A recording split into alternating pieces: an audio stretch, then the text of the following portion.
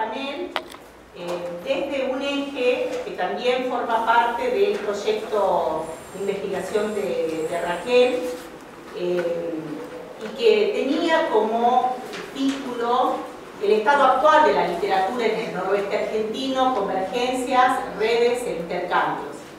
Eh, es un proyecto que apuesta un, una corte 1983-2016 eh, para poder eh, leer eh, cuáles son las tradiciones literarias en el NOA y sus vinculaciones también con toda la literatura argentina, incluso latinoamericana, cuáles son las transformaciones, las nuevas estéticas, los, emergentes que de alguna manera visoramos en, la ficción del norte argentino. Y, y, también el ingreso de otras tecnologías u otras de algún modo intereses que tiene la literatura eh, en esta centuria. Y a mí particularmente me interesó poner el foco de los 90 al siglo XXI y ver eh, aquí, aprovechar una suerte de quizás el eje de un proyecto futuro que estamos por armar con investigadoras que también se está sumando Raquel, Liliana, eh, también de la Patagonia Luciana, pero también las integrantes que nos están acompañando hace tiempo, como Verónica Juliano, como Gloria Quique, eh, eh, también lo habíamos invitado Hernán, bueno, hay varios profesores del, del NOA, Marilina Aybar, y también a estudiantes, ¿no? Tenemos muchos estudiantes y pensé en esta idea de las fronteras y, aprovechar justamente que eh, este congreso ¿sí? apuesta a problematizar las fronteras,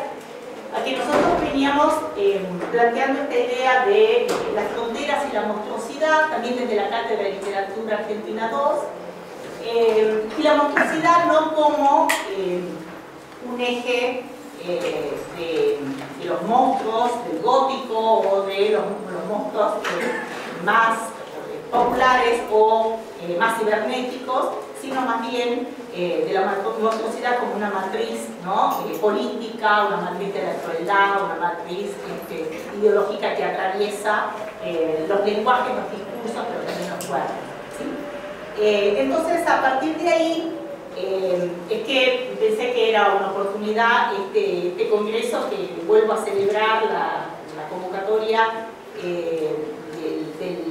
que es el lema y también eh, la invitación de Raquel para eh, plantear este panel de, NOA y poder pensar las mixturas de las poéticas, eh, sus lugarizaciones y, leer la literatura argentina como una unidad cronotópica polisistémica que pueda atravesar sus historicidades y territorialidades fijas y empezar a leer los itinerarios. Habíamos hablado un poquito ayer de la regla esta idea de eh, itinerario que también lo, vimos en Tucumán el año pasado, eh, para derribar las soberas eh, hegemónicas y empezar a transitar por otros caminos, otras travesías, que puedan problematizar la literatura argentina y que al mismo tiempo visibilicen la, la diversidad del campo literario argentino, repiense los temas, los corpus, eh, que puedan ser de alguna manera eh,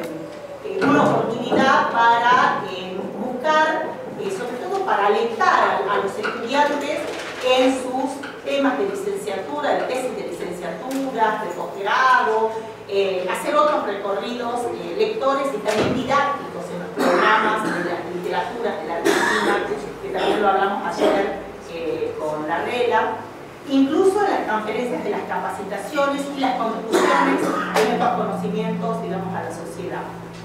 Eh, entonces, desde acá, eh, abordar la, eh, la, frontería como un ADN de, lo que es la literatura, de las literaturas argentinas, nos posibilita habitar y pensar, esto también de habitar las fronteras con las territorialidades que va muy de la mano con el libro de, de Tani, habitar y pensar en y desde las fronteras y desde las historias locales eh, para revisar y hacer una torsión de las argentinas,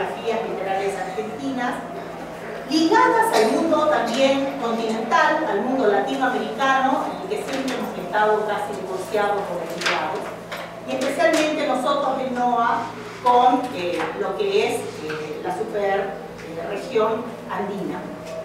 pero también poder, en diálogo con las discusiones artísticas, mediáticas, hipertextuales, con las epistemes, con las teorías epistemológicas decolonizadoras, con las semióticas de los umbrales, las semióticas culturales, las corrientes reterritorializantes y no de la exterritorialización de la globalización.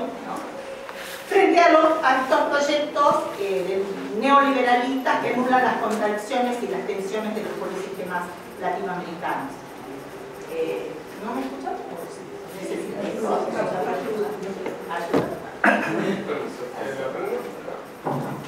A ver, ahí Ahí, sí. Eh,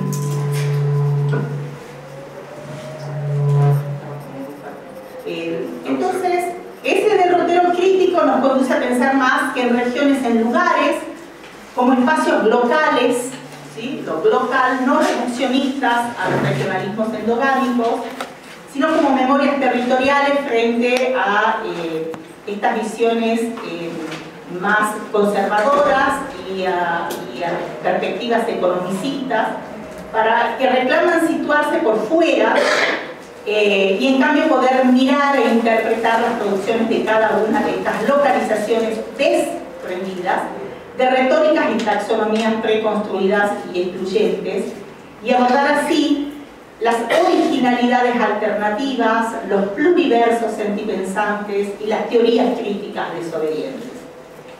En este sentido, un aporte de, Palermo que también eh, me gustaría compartir es poder revisar necesariamente los criterios de periodización de los procesos literarios desde las diferencias locales para repensar las historias literarias argentinas y desde allí la noción literatura, que adquiera un sentido flotante y no fijo, desprendido de su sagrada tradición canónica.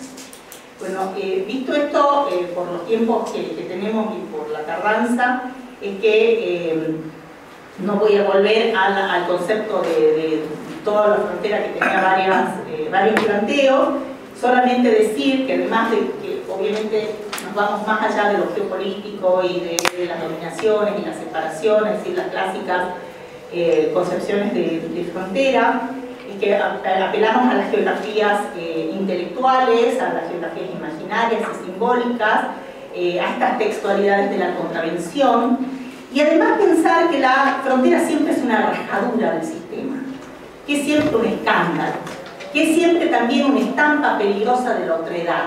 ¿no? Pensar eh, que la frontera es una amenaza de, la monstruosidad, de la rareza, que desestabiliza los órdenes de representación social.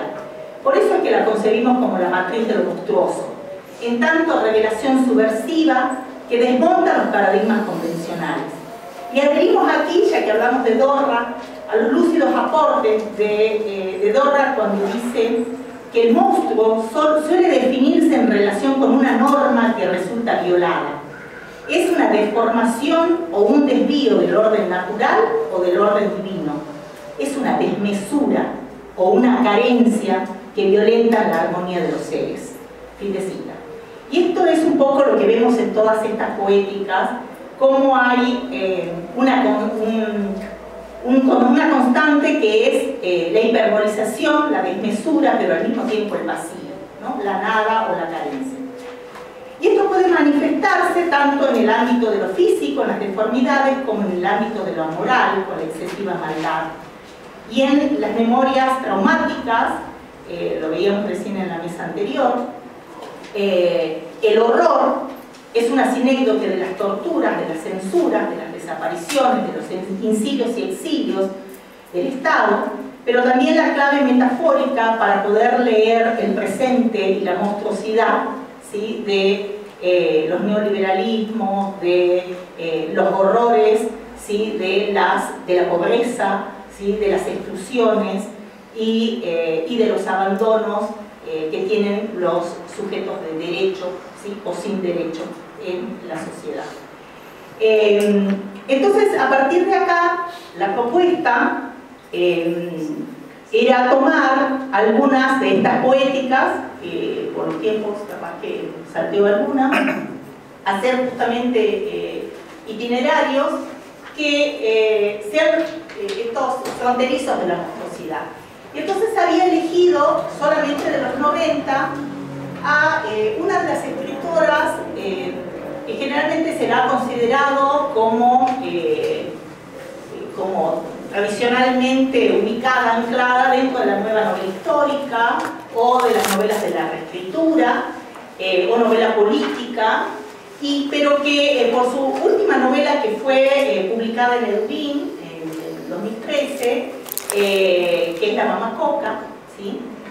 y si uno la, pone en contexto de producción, que fue para algunos escrita en el 94 y para otros hay ahí algunas divergencias en el 96, eh, estaría formando parte eh, dentro del corpus de las novelas de anticipación de los 90 cuya eh, problemática estaría en coordenada, ¿no? en sinergia con las novelas latinoamericanas de los 90 del narcotráfico.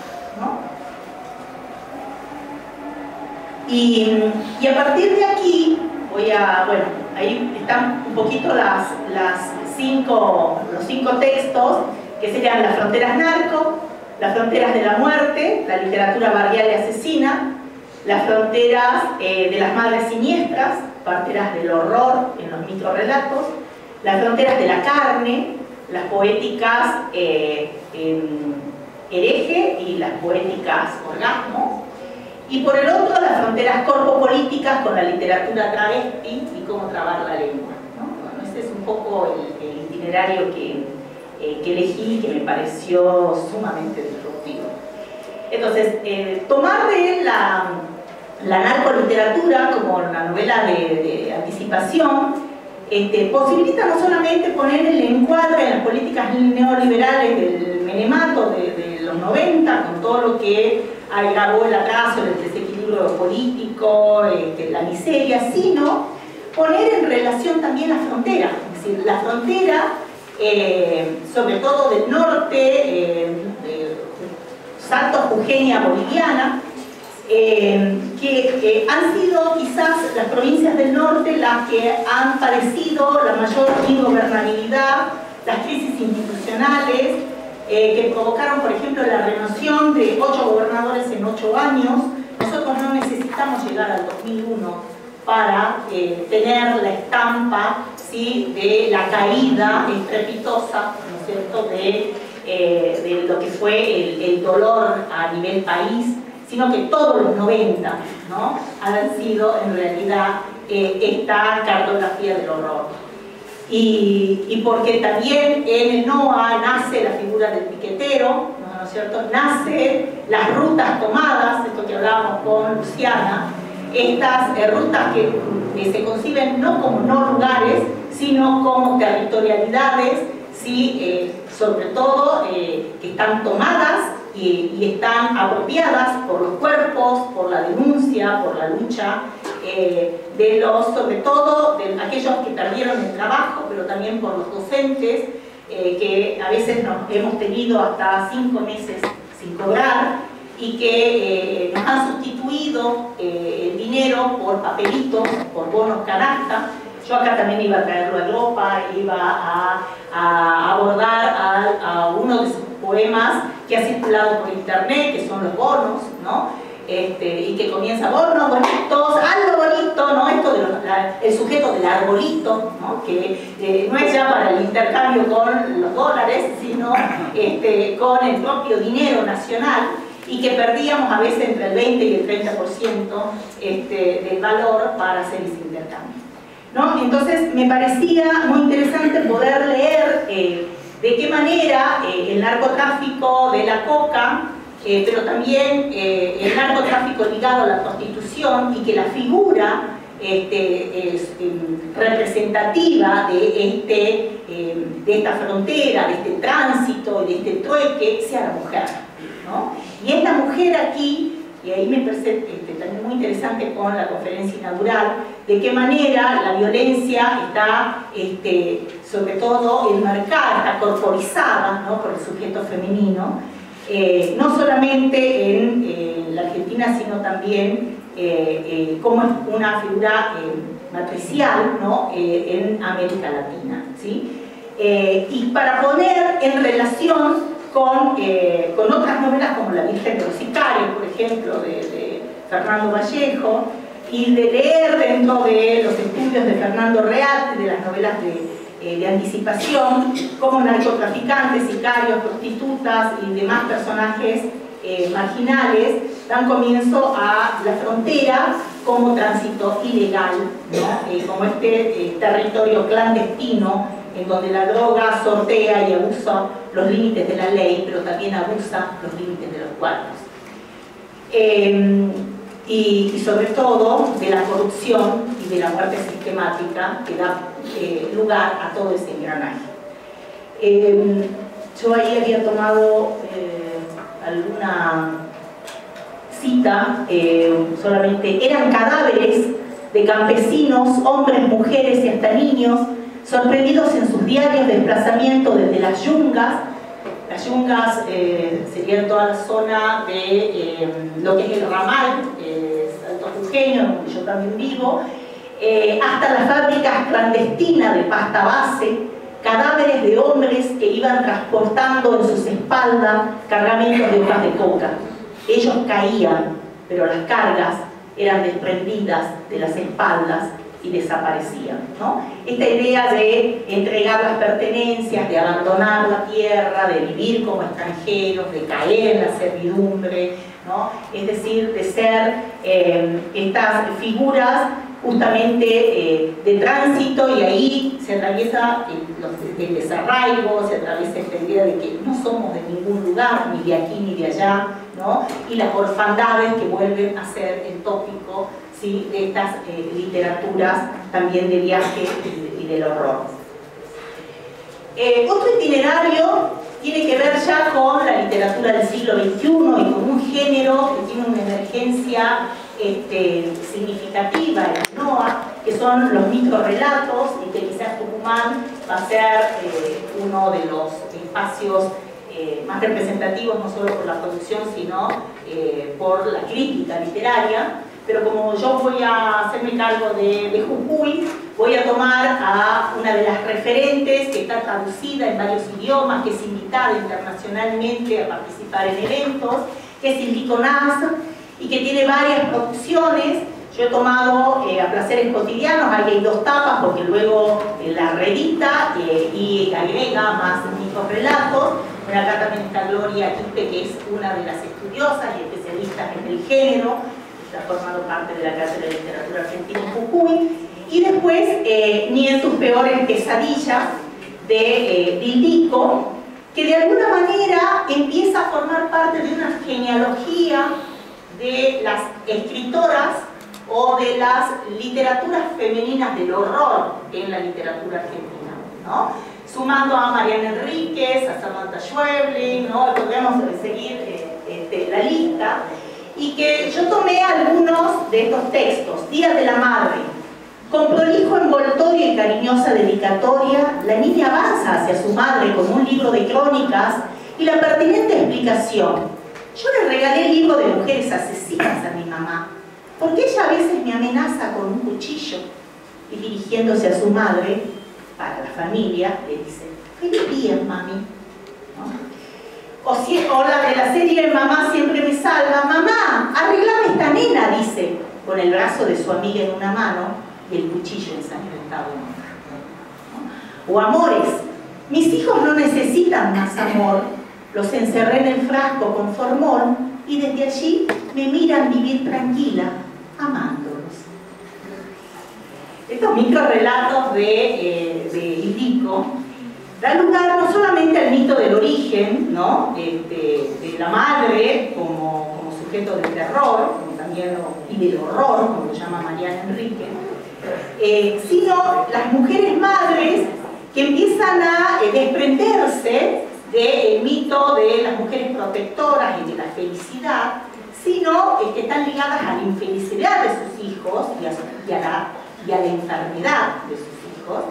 Entonces, de esta manera se hace necesario romper con el modelo de ser buenas madres eh, y de eh, un poco el, estereotipo de madre y una sola, ¿no? que, lo ha representado las letras de tango, sino también eh, mi madre me arruinó la vida, ¿no? o mi madre es la peor enemiga. ¿no? Entonces, estas lógicas binarias de la buena madre, la cuidadora, la amorosa, la ¿sí? Eh, eh, tenemos acá las otras que descuidan a sus hijos, que los rechazan, los abandonan, y lo peor, que se convierten en madres siniestras, macabras y asesinas. Nora Domínguez, en su libro ¿De dónde vienen los niños? Maternidad y escritura en la literatura argentina del 2007, se pregunta qué le da la maternidad a la literatura, más precisamente a la narrativa.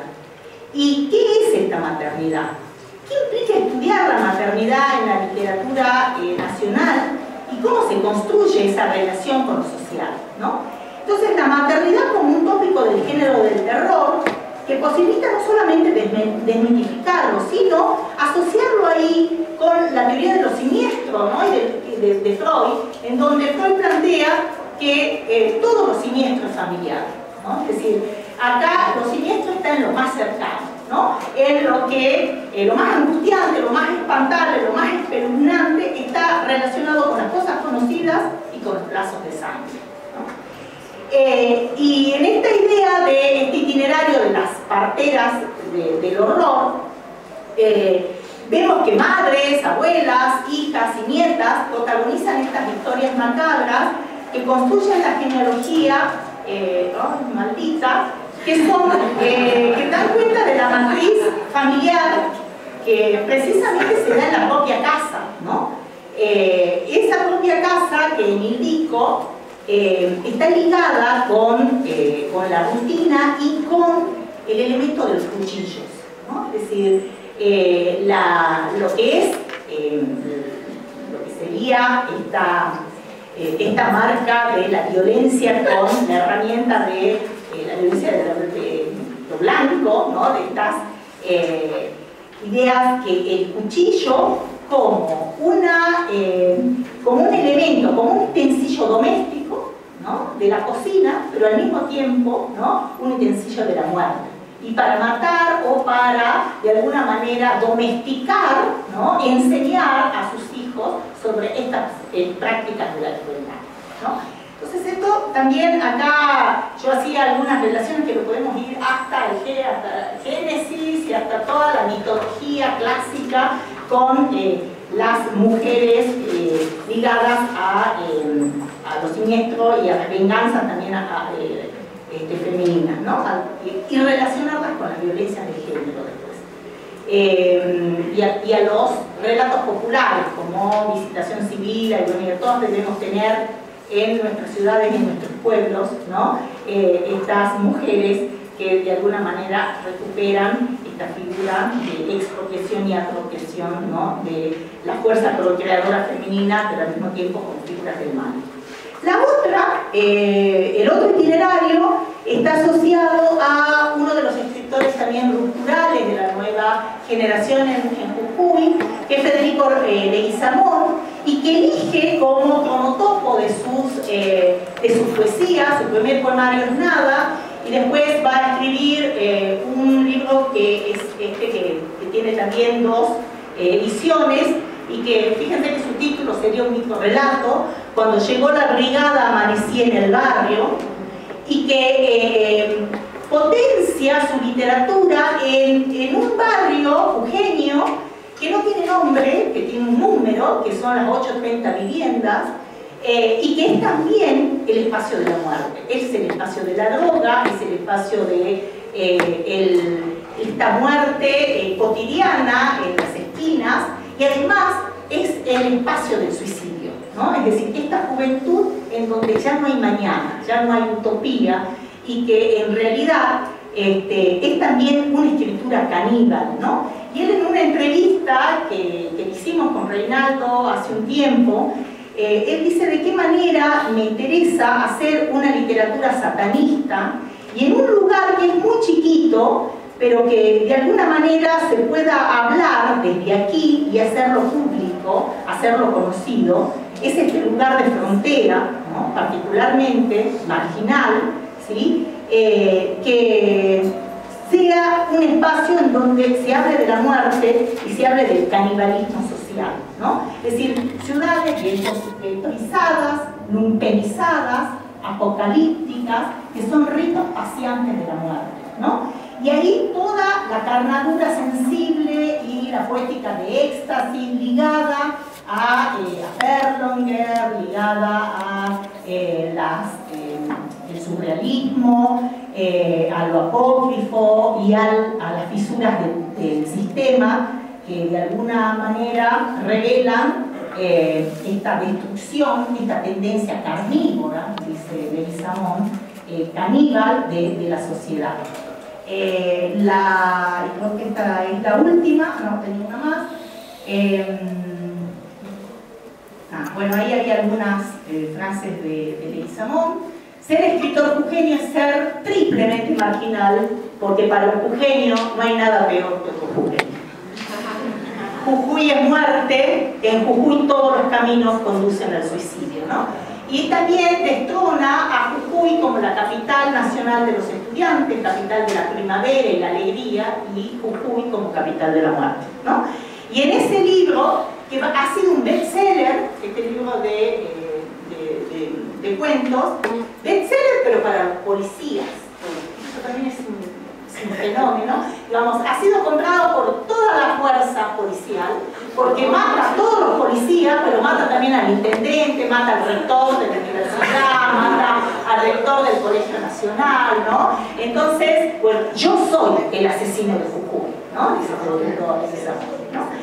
Eh, y, esta, pequeña, yo digo pequeña porque ha sido mi alumna en el Instituto de San Pedro, del profesor de Lengua y Literatura, eh, también con toda una historia de represión familiar, pero sin embargo se anima a hacer este, dos poemarios que se llaman Cuaresma y Poesía del Engendro, y que hace una poética, unas fronteras de la carne.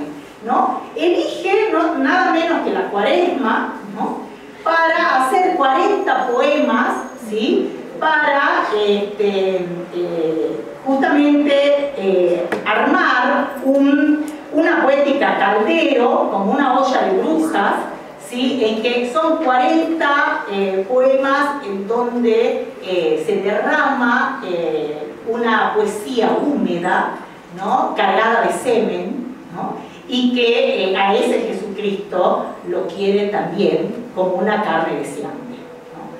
Entonces, por supuesto que hace un acto, la escritura, como un acto textual y un acto lujurioso. ¿sí? Eh, ella plantea que es un, eh, la poesía es un placer de ese tema largo y jugoso al que se chupa, se muerde, se frota y se explota en el rema de su boca.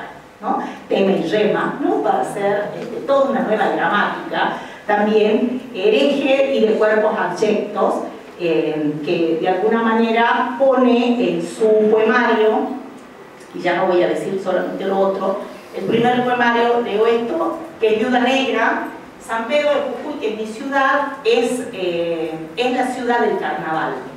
Es la ciudad de los corsos multiculturales, donde no solamente se da como el carnaval del norte, digamos, el quebrada de Humahuaca, en donde están eh, el carnaval indígena, sino que es el carnaval de todas las comunidades eh, y también de, por ejemplo, las comunidades bolivianas, de las comunidades cariocas, que hay una muestra este, múltiple de las distintas perspectivas de, estas fiestas eh, Carletolín.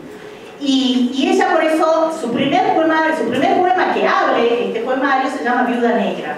Voy tan pálida y de luto, quién sabe por qué fue un pecado que Dios me mande a la ciudad del carnaval, donde ella nació y vive, a escribir, ¿no? Entonces, pero también está apelando a todos los relatos morales, digamos, a hacer esta ayuda a la que la condenan, ¿no? Todos los días, porque además es directora de la Biblioteca Popular de la ciudad y, este, tiene el desparpajo de hacer eh, fotografías semidesnudas, ¿no? o hace body, panty, eh, subida en los libros o en los anaqueles de la biblioteca del pueblo, ¿no? Por lo tanto, la condenan por fe, este, bueno, es un fenómeno también, Marisol, para estudiarla, eh, y porque, bueno, se ha convertido en una disruptiva de, del lugar. Y esta última en donde yo fui jurado, y no voy a solo no la voy a presentar porque sigo, doy el tiempo, en que inaugura dentro de la literatura jujeña, la literatura travesti, eh, Santiago Jorge, con la frontera justamente corpo-política, pero que a mí me interesaba mucho eh, abordar esta, novela porque no solamente eh, los cuerpos travesti en que se organiza como una literatura de viaje, una literatura de iniciación, una literatura del exilio, es también situada en San Pedro, tiene que abandonar San Pedro, se tiene que ir a la capital, sino cómo traba la lengua. Esta idea de trabar la lengua es de qué manera, cuáles son las estrategias y los mecanismos discursivos a los que eh, necesita eh, deconstruir o desmontar para hacer esta nueva narrativa. ¿no? Dejo ahí y gracias.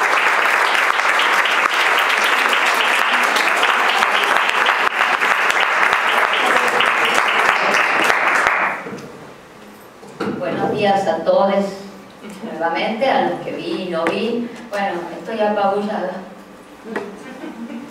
no tengo aliento después de lo que escuché, pero quiero contar que este, yo la parte de esta literatura macabra y de esta literatura de la crueldad y de todo esto, lo veo específicamente en Tucumán como un espacio muy inmaduro de trabajo del lenguaje. Estoy totalmente en una posición este, sin guarida en lo que decido y en lo que leo, este, que estoy haciendo un trabajo de esa línea, ¿no? Pero hay otra cuestión que a mí me aflige muchísimo en Tucumán, específicamente, y eso no quiere decir que no sea así, este, tiene sus diferencias, por supuesto. Eh, Tucumán se sigue caracterizando por una interesante y novedosa producción lírica. La poesía es algo que está produciendo cosas completamente diferentes, con propuestas en donde aún este, todavía es más protagonista la mujer que el hombre. Hay también buenos poetas, pero es donde se destaca la mujer. La cuestión que a mí me aflige, y voy a reducir un poco este recorrido en Tucumán, es específicamente la narrativa.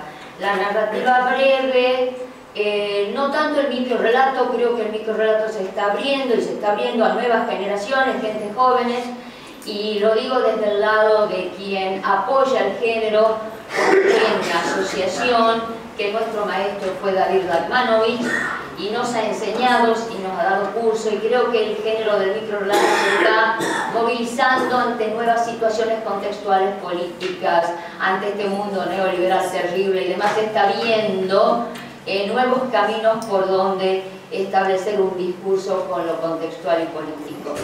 Eh, pero sigo preocupada por la narrativa porque eh, no veo que la narrativa pueda tener un proyecto, no sé si lo quiere tener al proyecto, hay grupos colectivos de trabajo que plantean pero no hay ningún tipo todavía de consolidación en cuanto a lo narrativo. Entonces me voy a dedicar a hacerles un recorrido para que ustedes después puedan opinar al respecto. Por supuesto que no tomo los antecedentes, pero sí quiero decir esto, dado el tiempo, que hubo una etapa en Tucumán entre los años 60 y fines de los 80-90 en que Tucumán miraba muchísimo al río de la Plata. O sea, había un diálogo estético con el Río de la Plata, lo cual se detecta fundamentalmente en escritores que han intentado en narrativa hacer sus primeros antecedentes, un muy buen escritor y bastante olvidado con injusticia, que es Julio Ardiles Frey, que perteneció a la carpa tanto poéticamente como narrativamente. Y hacia 1952 y 54 tiene este, novelas, voy a nombrar algunas, como La Grieta, y otras novelas como Amigos muy lejanos, en donde hace un quiebre con ese realismo localista, pintoresquista, y se va al mundo del subconsciente y a construir un mapa de múltiples voces interiores pero siempre refractando las problemáticas del obreraje, del ingenio, ¿no? y de todas estas migraciones de santiagueños y demás que venían, pero es muy interesante la propuesta que hace él. Pero eso es entre los años 52, 60, en donde ya la carpa poéticamente había establecido sus primeros quiebres y críticas con el pintoresquismo, el localismo, etcétera, etcétera, y miraba a estos planteos del surrealismo y trataba de ver cómo construir un paisaje, la tierra y el hombre desde otra metáfora. Un camino que lo va comenzando y lo va logrando entre los 40 y los 50.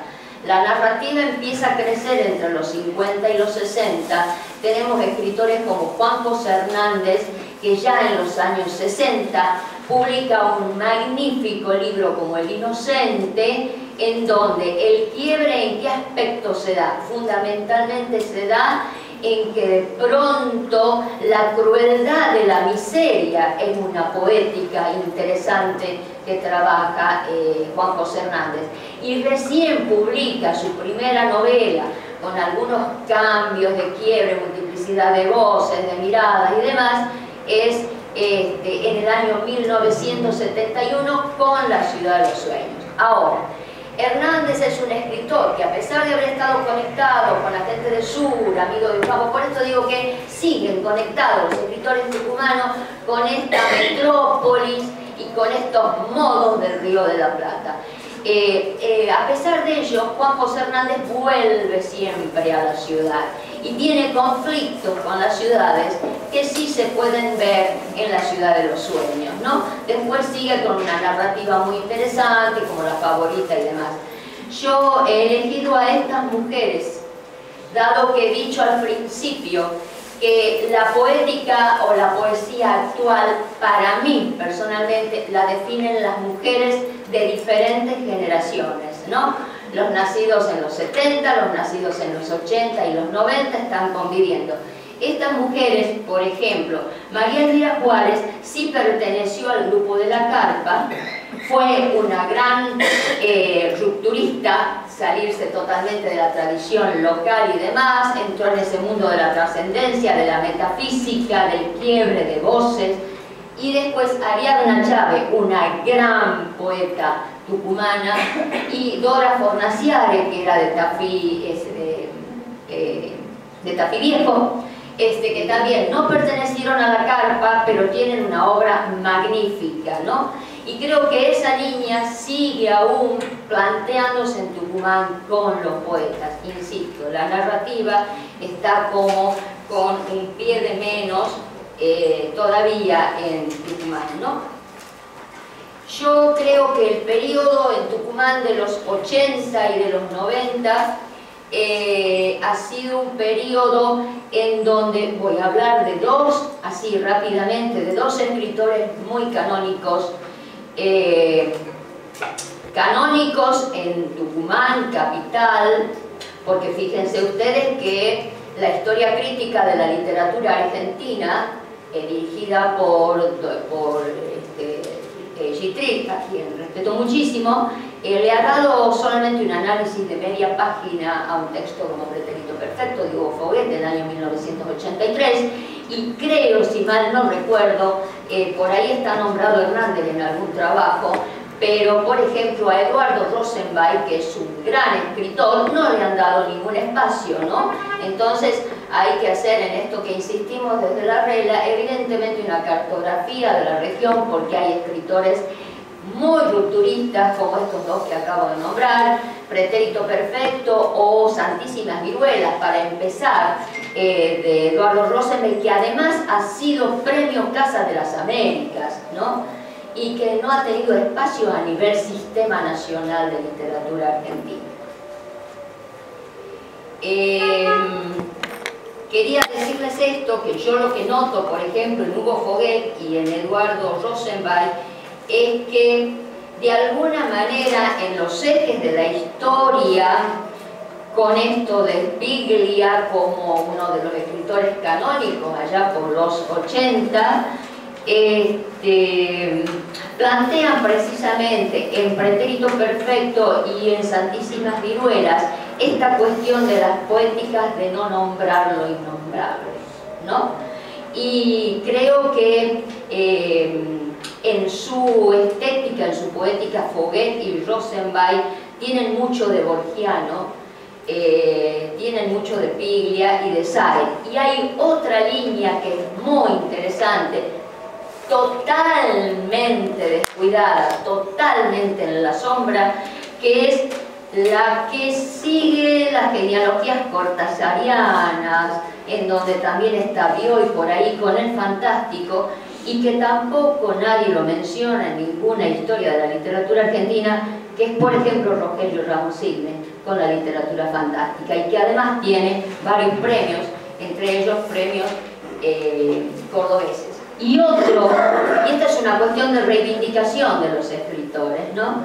Eh, otro escritor que a mí me merece mucha admiración y que ha sido marginal en su momento por ser homosexual, hoy no pasaría eso, que fue Fasolo. Ah, eh, Fasolo escribe en 1994 El Ángel y es muy interesante eh, les voy a leer apenas un comentario para no demorarme mucho, cómo el ángel, en el ángel está la presencia de la muerte y del velorio, y Fasolo incorpora la parodización rumoresca de multiplicidad de voces, coros de voces donde ingresa un humor totalmente deshumanizado, descarnado, articulado por esa risa negra que hay en el velorio y de alguna manera construye una forma de barbarie de lo vulgar y del margen. Fasolo apela por primera vez en la literatura tucumana a la construcción de los suburbios tucumanos, de su gente, sus actividades no ortodoxas para la clase burguesa, hace del humor, la ironía y la exclusión social la marca de un estilo, sumando la intermediación de la hibridez genérica, apelando a medios masivos y populares como la radio, heterodoxia de lo popular, que, confronta con la tradición, pues su literatura representa historias de prostíbulos, identidades sexuales y cruces con una clase media que la refracta con falta de grandeza moral.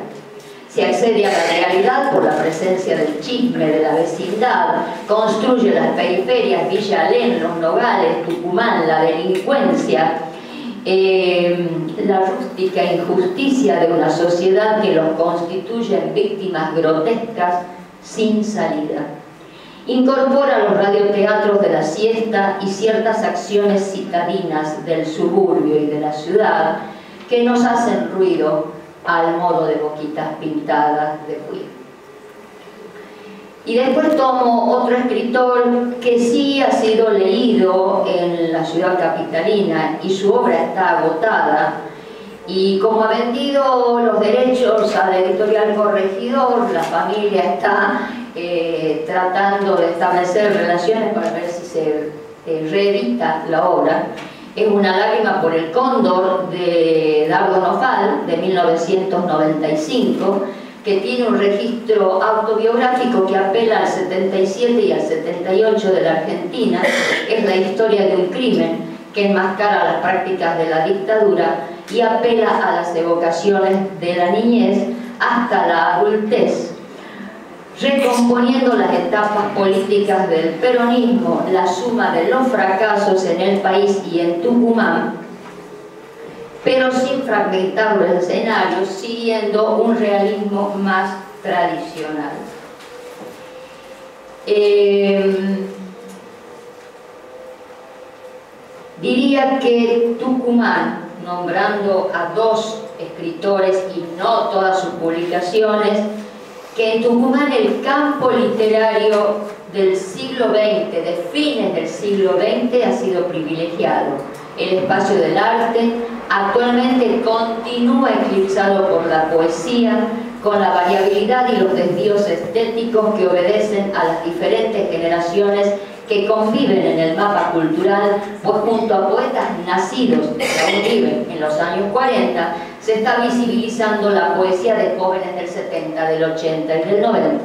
En esta última etapa se observa el quiebre de los proyectos escriturarios con la negación de la metáfora, con un lenguaje recargado de cotidianeidad, un lenguaje que nombra porque cree que se debe nombrar todo, con los excesos de lo urbano y lo suburbano, una orfebrería del lenguaje muy diferente entre unos y otros que deriva de una maquinaria, para mí, no decantada todavía, sino que va por un camino de la transitoriedad a ver cómo se consolidan los proyectos. Eh, el ámbito de la novela, tomo algunos elementos entre el año 2000 y 2016, avisora una narrativa que es todavía esporádica.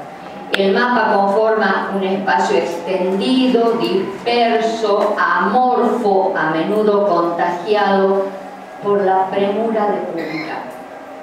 En este momento hay muchas editoriales artesanales, independientes, y yo voy a hacer una cuestión, creo que hay muchos textos que necesitan de la maduración del lenguaje.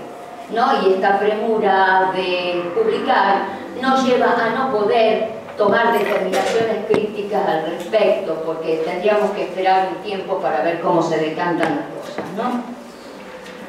Sin embargo, para el siglo XXI, todavía en el siglo del año 2000 para acá, hay una línea que está trabajando las representaciones de Estado.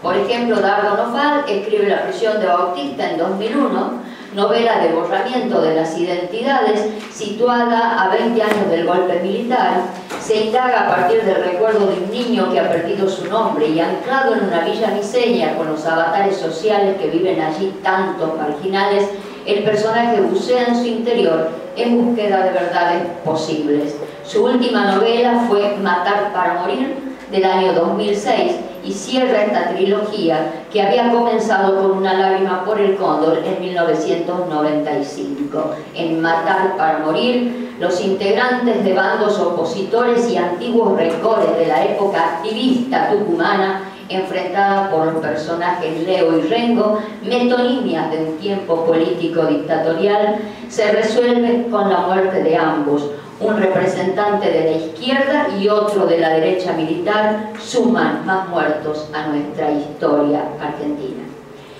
Otro escritor, más o menos de la misma generación, Bernardo Vides Almonacid, que es nacido en el 53, escribe La patria de los herejes en, en 2016 y construye desde el presente en Buenos Aires el pasado de los 70 en Tucumán con un realismo social de fuerte anclaje político, un espacio ideologizado que refracta un país de antinomias imprevisibles en las consecuencias del poder, tensiones permanentes con dosis de misticismo y de misterio, un observatorio de comportamientos humanos, dificultades para sobrevivir, pero con cierto optimismo para el futuro. Llegó, llegó. Me voy ya.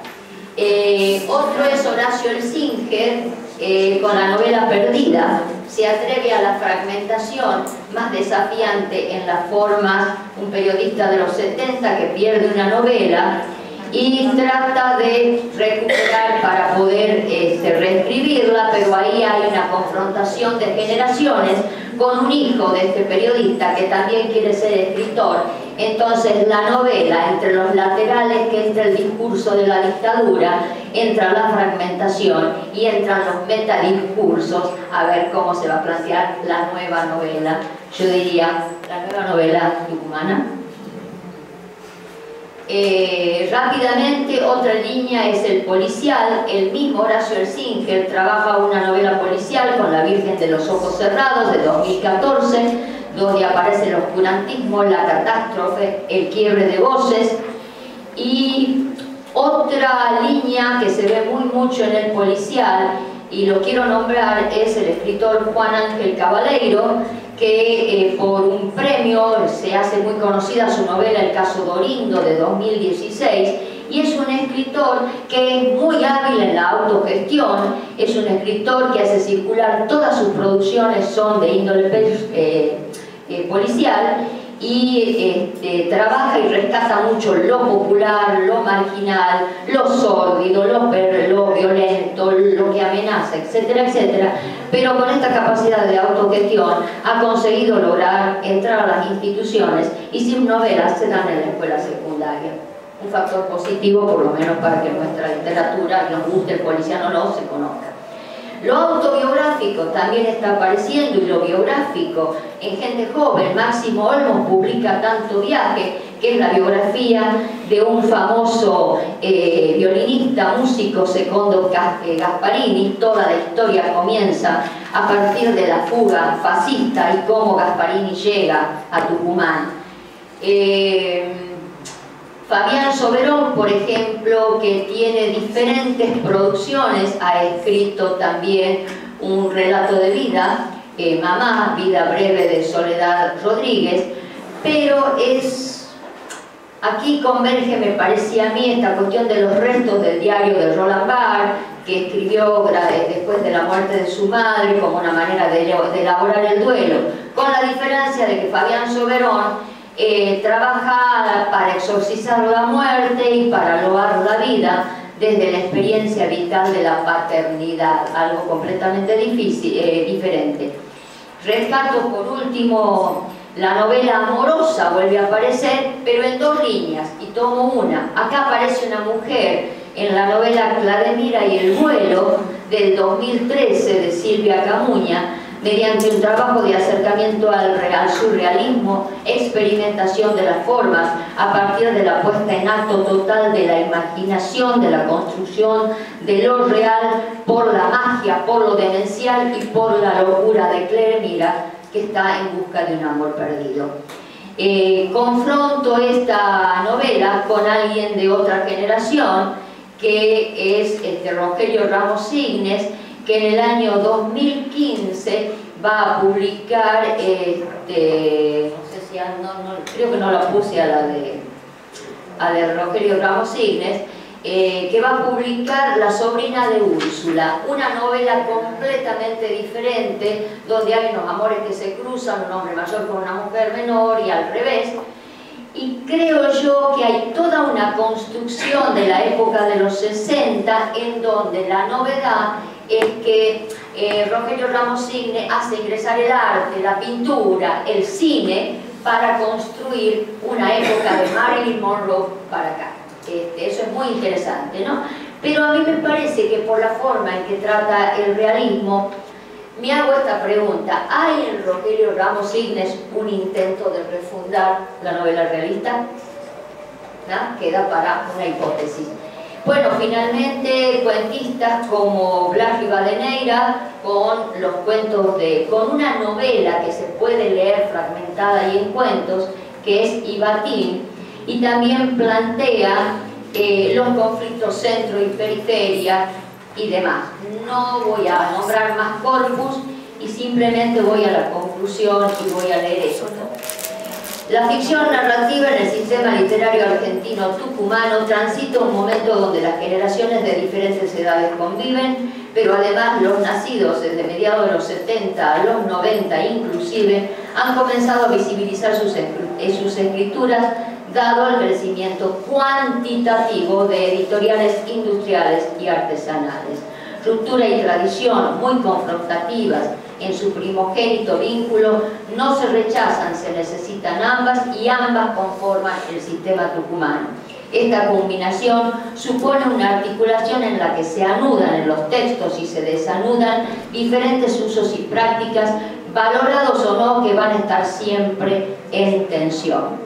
Respecto a las producciones a través de lo breve expuesto este muestreo, se puede percibir distancias estéticas y culturales. En las dos últimas décadas del siglo XX, por un lado, estalló la fragmentación, el coro de voces, multiplicando versiones de la historia, una primera línea literaria con pretensión de totalidad de la novela argentina, quizás una continuidad de lo que existió en los, en los 60, con un gesto de negación con la tradición de ruptura profunda.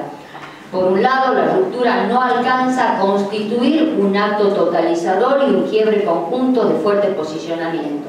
Fa solo se atreve con la intervención de voces y versiones, con la representación del suburbio, sexualidades y demás, en cambio, Nofal, por ejemplo, es un escritor que no arriesga a despegar de los modos de las zonas allegadas a cierto costumbrismo tucumano actual.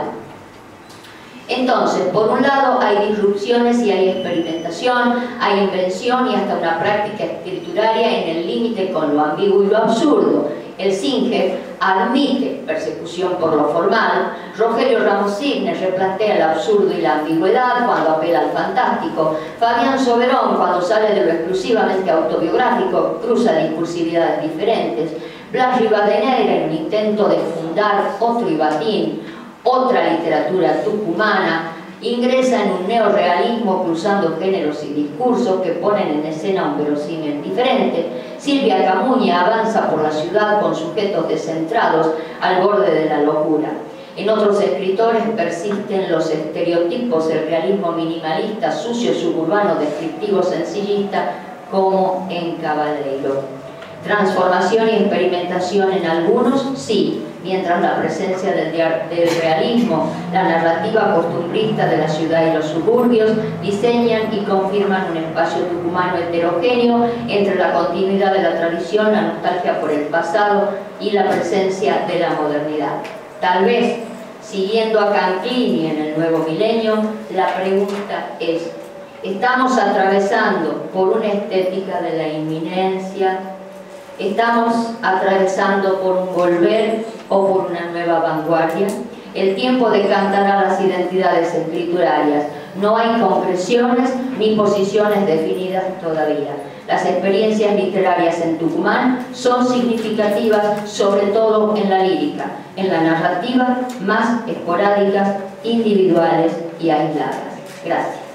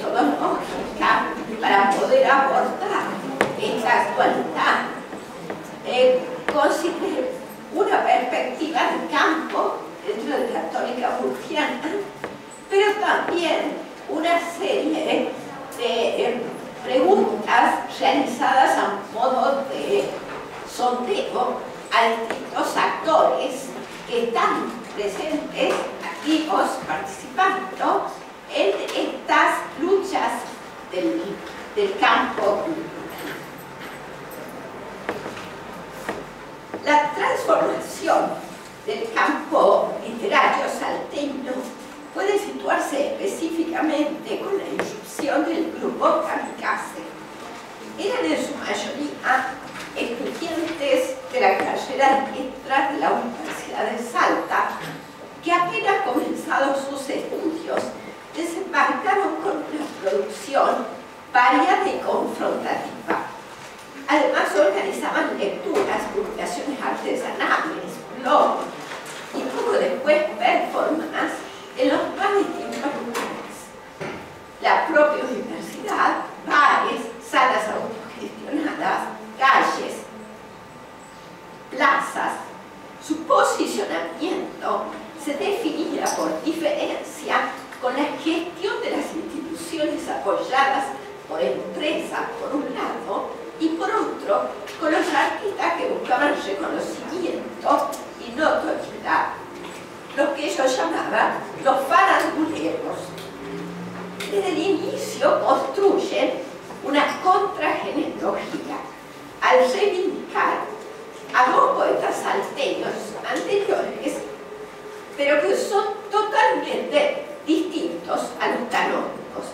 Jesús Ramón Vera, poeta, docente y comparsero, y a Jesús Ferreira, poeta, docente, comunista y deliberadamente outsider dos autores que se ocupan del barrio, la villa, las pertas y que eluden sistemáticamente toda relación con las instituciones y sus representaciones estereotipadas.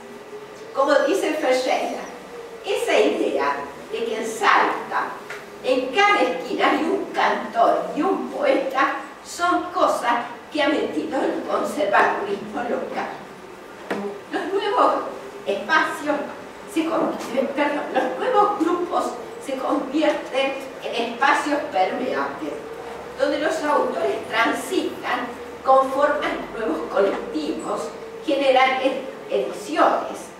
Identificamos aquí, además de Kamikaze, Yaera, Ecus Power, Alto Yuyo, ¿no? todas eran grupos y editoriales donde los participantes van y vienen entre esos autores José González, Alejandro Luna, Mariano Pereira, Fernanda Salas, Luz Arabia, Carlos Paramora, Diego Ramos. Según Daniel escritor, periodista, Kamikaze tenía cierta belicosidad que ningún grupo la tuvo.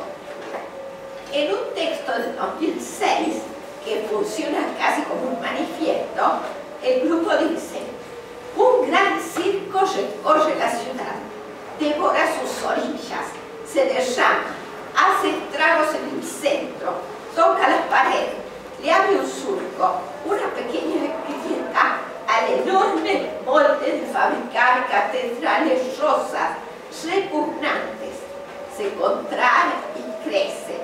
Pequeños hombres son los habitantes de este circo, ningún religioso, pero entre sus atracciones se encuentra el hombre que tiene hambre, después hace una larga enumeración y termina con y la hilera inconmovible y culebreante formada por los culos apretados de tantos poetizos, poetudos bajo el sol junto a las madres poesías. Un momento fundamental de esta movida es la aparición del libro Crack de José González. La apuesta que aglutina este libro y que se bifurcará luego en publicaciones de todo el grupo es el cuestionamiento a la representatividad de la literatura salteña y en un gesto político confronta el imaginario conservador de la provincia. La serie de 29 poemas se presenta como un discurso disperso, alimentado por la rabia, con algo de absurdo, mucho de y una voz enunciativa desencajada, burlona, despectiva. Un breve ejemplo. Los poemas no tienen títulos. Este que voy a leer es el número 22. Estoy otro lado. La mariposa cortada en partes por las hormigas que se caen. Dibujito del novio, escrache los ojos, Se ha aplicado la tumba y todo el mundo vigila, vigila los otros rotos. Alambre el punto con borde atravesado. Solo el llanto quiebra el límites en las caras. Escritura sin palabras. Como importante índice de lectura, en el paratexto de estas publicaciones dice ISBN, dos puntos, insano sí, boludo no. La producción de estos autores ha sido analizada por distintos críticos como Susana Rodríguez, Julieta Colina, Andrea Mancilla, Hernán Sosa, que reconocen el impacto de estas producciones y la tensión en diversos frentes. Por un lado, con los autores de la generación anterior, que también habían tenido en la universidad su punto de partida. Carlos Juárez Alazábal, Geraldine Palavecino, Eduardo Jovino, y cuyo discurso afable continuaba el fluir de la literatura local. Lo cual no quiere decir que eran malos escritores, ¿no? Excelentes escritores, pero el transcurrir era amable. El segundo frente fueron las instituciones que procuraban cerrar todas las puertas a este discurso extraño, provocativo, crítico, que sentían amenazaba los cimientos de su constitución. Y el tercero, un sector de la crítica académica que se quedó sin respuesta a un fenómeno que excedía sus paradigmas. Se insertó así un fenómeno desconocido que tenía carácter gregario, donde todos los fracturaban paradigmas insertaban nuevos temas, desarticulaban convenciones, quebraban los límites del lenguaje literario, hacían ostensibles la injusticia, las hipocresías sociales y los juegos de poder. En una provincia clasista, con rígidas estructuras, los libritos con tapa de letra que ya era, provocaban escosor primero, rechazo después, y con frecuencia de descalificación. Pero a la vez, como afirma Fernanda Sata, que comparte estos desafíos políticos, genera nuevos públicos para la literatura y nuevas formas de acercamiento, ya que los procesos de producción de carácter artesanal quedan a la vista. Un libro puede comenzar con una frase de una intervención artística que vaya configurándose entre la experiencia y la memoria, como el caso de un libro que se titula Las visitas de Fernanda Sala y que surge a partir de un tendero con frases de la carta. Es decir, todo el, el proceso de construcción del texto es muy conocido por la comunidad. Por cierto, otro, otro caso también es la aparición de lo esperpéntico, como un libro de cuentos de Daniel Medina o parricipios.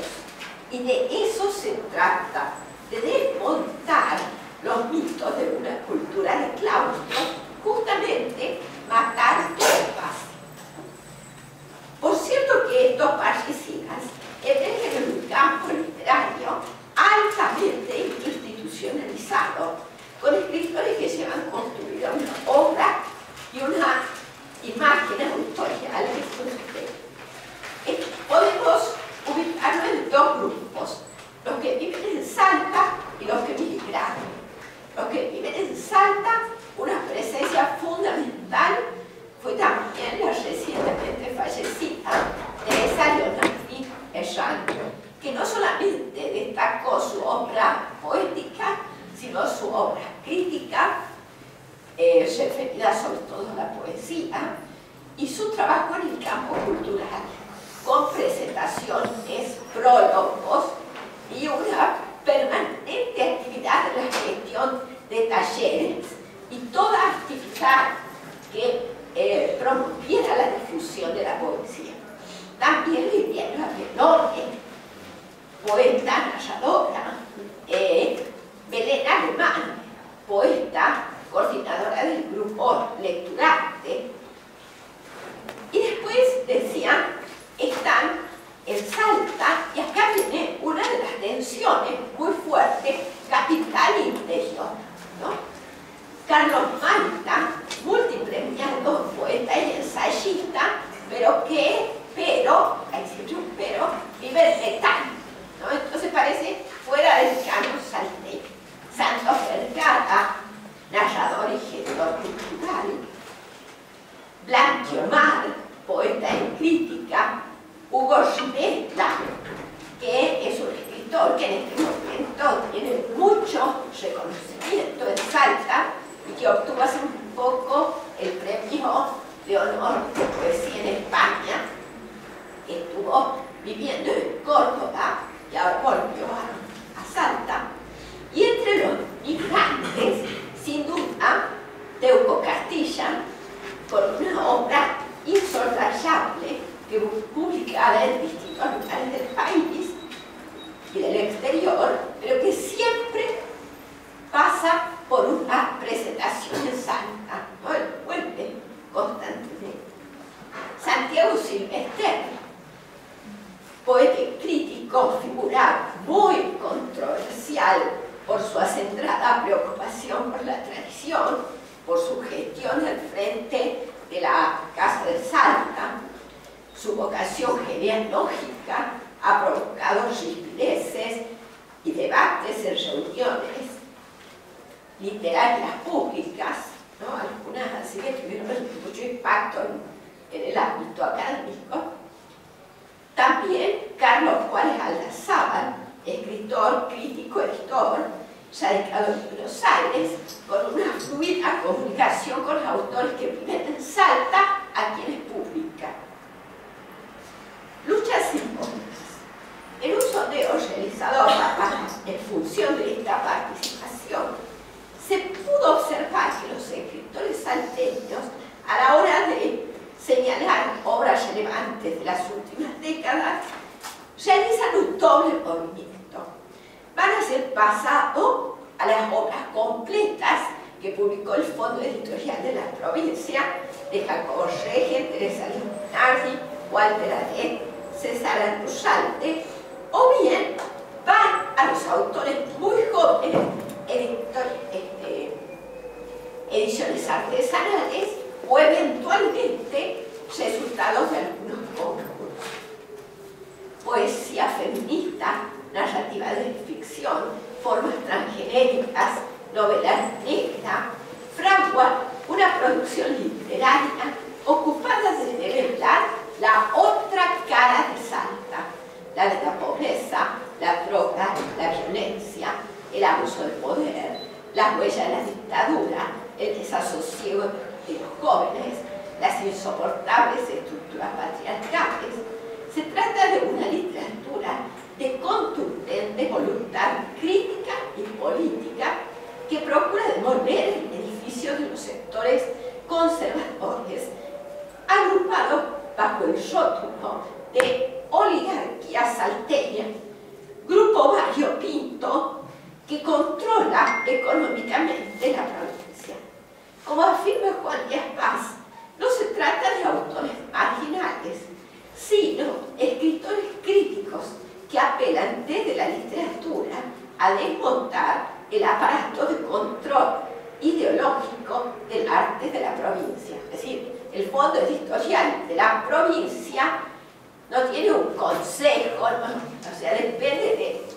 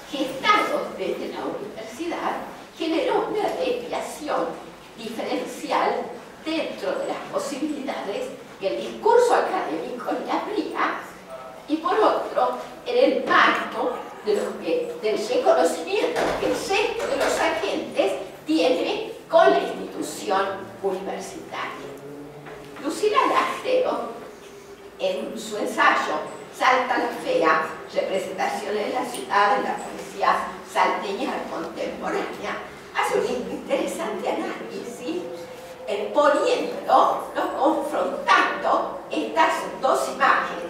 Salta la tinta, la construcción oficial del turismo, de, todas las, representaciones también eh, organizadas en torno a la tradición literaria, y la salta la fea, que es esta salta que van presentando estos nuevos grupos. Bueno, se sería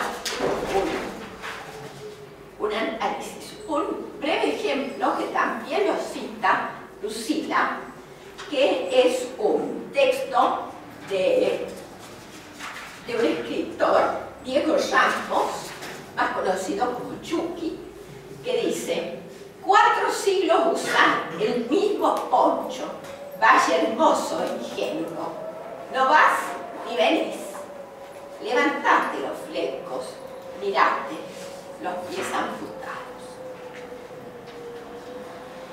Bien, podríamos hablar, y eso sería la otra parte del trabajo, para quien le interese se lo puedo dejar, de la gran cantidad de pequeños grupos que se fueron eh, organizando en torno a revistas, por ejemplo, Sonámbula de ciencia ficción, o en torno a talleres donde se van generando editoriales como Sinergia, por ejemplo, entonces van a pero es muy llamativo también que estos grupos están actuando casi de una forma eh, atomizada, ¿no? Es decir, cada uno organiza los grupos, trabaja en esos grupos, pero la relación con el resto es bastante escasa. Estos grupos están orientados sobre todo a la gestión cultural, organización de actividades, difusión, articulación con otras prácticas artísticas, pero la escritura sigue el terreno individual. Como afirma Medina, ninguno de los grupos actuales tiene un manifiesto. No veo a nadie levantando las banderas de una estética. Dice Medina, que justamente se lo considera dentro de ese grupo kamikaze, y él dice, a nosotros nos dicen jóvenes escritores y pronto vamos a cumplir 40 años. Ya no somos jóvenes escritores. Para cerrar, este breve panorama permite observar, primero, un estado de resquebrajamiento de la imagen que la actividad oficial de la provincia busca mostrar a través de sus dos escenarios privilegiados, la Casa de Salta y la Feria del Libro, en Buenos Aires.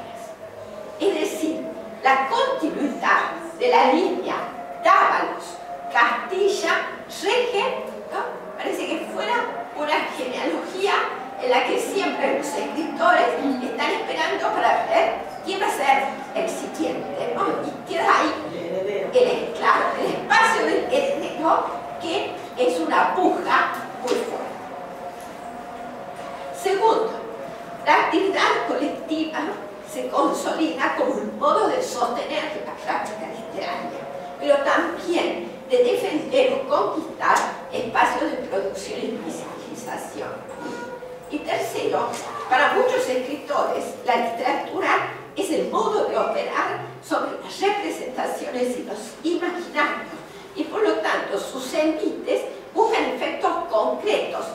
Para otros, es la ocasión de luchar por un espacio en la genealogía literaria de la provincia.